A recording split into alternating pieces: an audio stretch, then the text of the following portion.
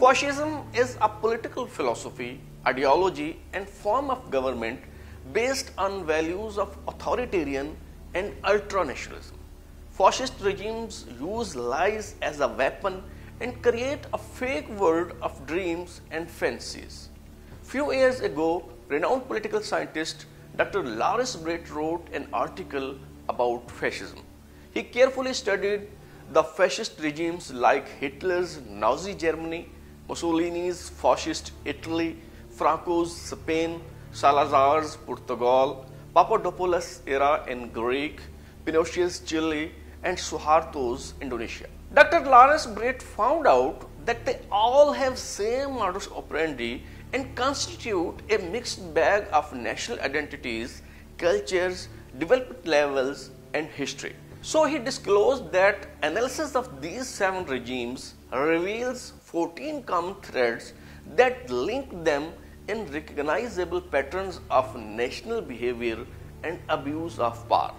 These 14 characters or similarities are used as a barometer or litmus test to figure out whether a specific regime is following footprints of fascism or not. So, today we would be trying to understand these 14 basic characteristics of fascist regimes. I am Bilal Ghauri and you are watching Tarazoo.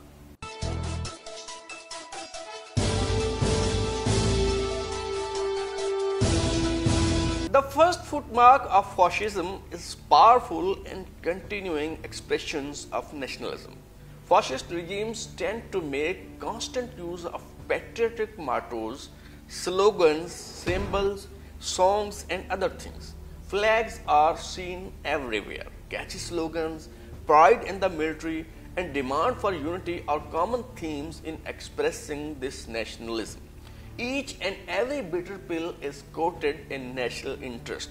So, ultimately, the regime itself and all citizens are caught up in this frenzy. Fear is the most lethal weapon of fascist regimes. Because of fear of enemies and the need for security, the people in fascist regimes are persuaded and convinced that human rights can be ignored in certain cases due to national security. The people tend to look the other way or even approve of torture, summary executions, assassinations, long detention of prisoners, and other brutal and vicious things. Enemies of the state, traitors, and foreign agents. These are the most popular terms in fascist governments.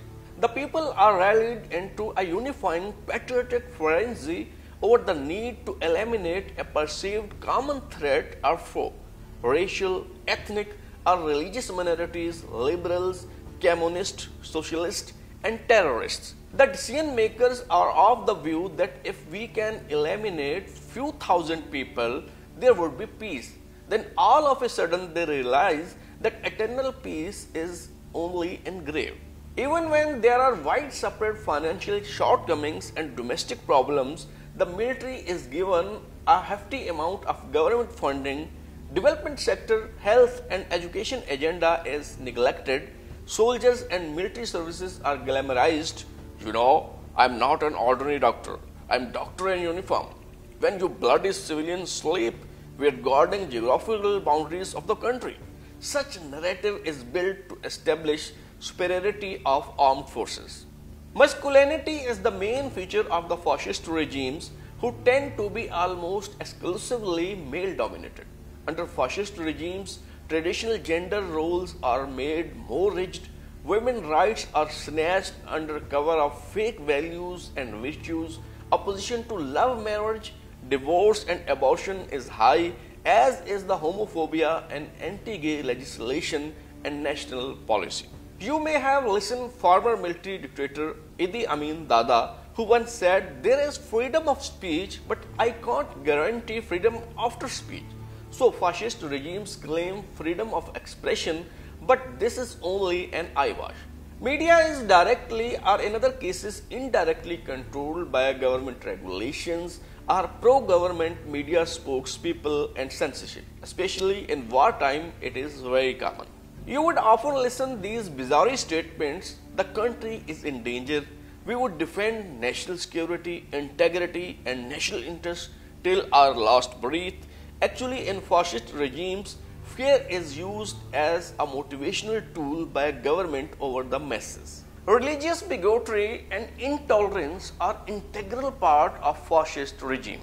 Rulers and religious fanatics are like nail and flesh. Government in fascist regimes tend to use the most common religion in the nation as a tool to manipulate public opinion. Religious rhetoric and terminologies are commonly used from government leaders. For example, they would say, We want to establish Riyasat Medina. The industrial and business aristocracy of a fascist regime often are the ones who put the government leaders into power, creating mutually beneficial business government relationships and power elite. First, they invest on leaders in making and then they receive all their investment with interest. Because the organizing power of labor and students are the only real threat to a fascist government, hence labor unions and student unions are either eliminated entirely or they are severely suppressed and controlled through their puppets.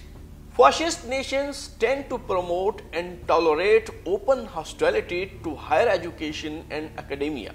It is not uncommon for professors and other academics to be censored or even arrested.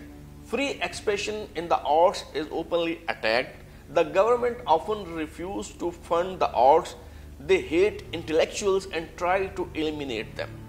Under fascist regimes, the police are given almost limitless power to enforce laws.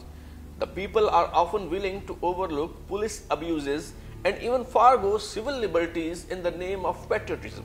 There is often a national police force with virtually unlimited power in fascist nations. Fascist regimes almost always are governed by a group of friends and associates who appoint each other through government positions and use government power and authority to protect their friends from accountability. It is not uncommon in fascist regimes for national resources and even treasures to be appropriated or even outright stolen by government leaders. On one hand, they are looting and plundering money, while on the other hand, they are champions of accountability. Sometimes elections in the fascist nations are a complete shame. Other times elections are manipulated by smear campaigns against or even assassination of opposition candidates. Use of legislation to control voting number of political district boundaries and manipulation of the media. Fascist nations also typically use their judiciaries to manipulate or control elections. So don't confuse with labels. You may have so-called parliamentary democratic system, presidential system or any other form of government but if you find these 14 symptoms in your society, it means you are living in a fascist regime. Thanks for your time. If you want to stay in touch, subscribe our channel and turn on bell icon